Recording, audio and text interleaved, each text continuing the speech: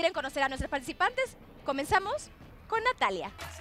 Natalia, bienvenida. Hola, a tu recorrido en esta pasarela. Híjole, qué solita, nervio. completamente. ¿Cómo te sentiste? Ay, feliz, nerviosa. eh, la energía se siente padrísimo. El estar con chicas que compartan la misma pasión que tú está Está impresionante. increíble. Pero ahora sí, la pregunta es, ¿a dónde vas con ese look? Pues yo elegí irme de antro a Las Vegas. A ver, chicas, ¿están listas para calificar el look de Natalia? Sí. A ver, una, dos, tres.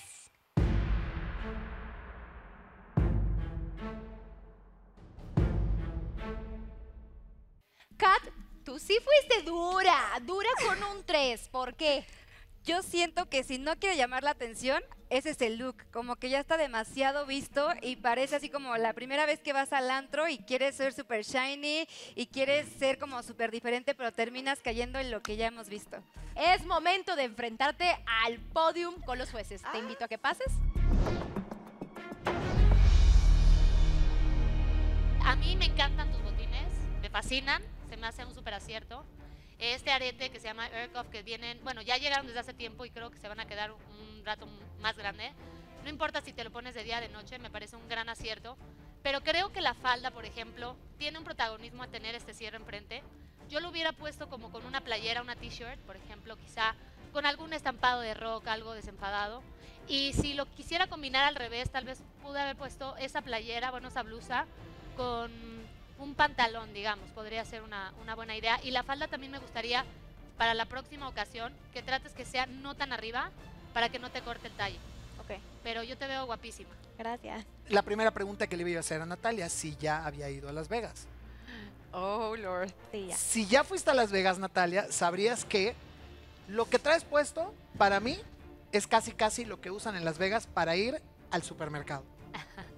O sea, Las Vegas es shiny, flashy, es llamar la atención, es ser ahora sí que the queen of the night en Las Vegas, en donde hay otras 3000 en el antro. Imagínate acá que no estás en Las Vegas, estás compitiendo, atrás de ti hay 10 brujas que vienen con todo para quitarte el premio. Entonces, yo siento la verdad que le debiste haber echado más ganas. Porque lo que traes está padre, pero está padre normal, está padre normal para aquí.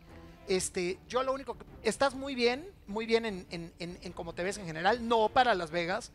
Yo lo único que te hubiera hecho es como una especie como de, como de pelo recogido, como un bon-up así medio Messi, para que te veas, pues, que tengas un toquecito un poco más sofisticado. Ok, gracias. Pues mira, preciosa. Sí me gusta muy dramático si vas a ir a Las Vegas si tienes que ser la reina de la noche y comértelas a todas, pero quiero- creo que también tiene mucho que ver en actitud. Ya, Cómetelas. a ver perrísima la Tú eres dueña vez. del mundo. Ok. Ay, chicos. Gracias. Bastante puntuales, pero ahora sí llegó el momento de dar su calificación.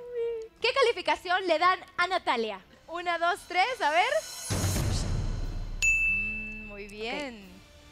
Mi querida Natalia, llegó el momento de ver tu calificación total. Ok. Vamos a ver. 11.5. Muy bien, eres la primera, es muy difícil. ¿Cómo te sientes? Pues emocionada, la verdad es que estar aquí ya es toda una experiencia. Entonces, no, yo estoy muy feliz. Pues a trabajarle, ¿no? A seguir los comentarios de, de los jueces para que te vaya mejor cada día. Así va a ser.